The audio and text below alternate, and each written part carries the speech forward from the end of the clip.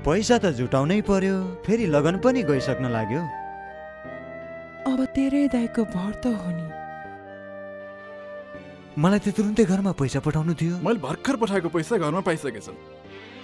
लक्ष्मी ब्याङ्कको इएमटीबाट पठान। मलेसिया लगायत विश्वका थुप्रै मुलुकबाट नेपालमा पैसा पठाउनका लागि छिट्टो अनि भरपर्दो माध्यम Laxmi bank express money transfer EMT तपाईँ त आउन पाउनु भएन दाई।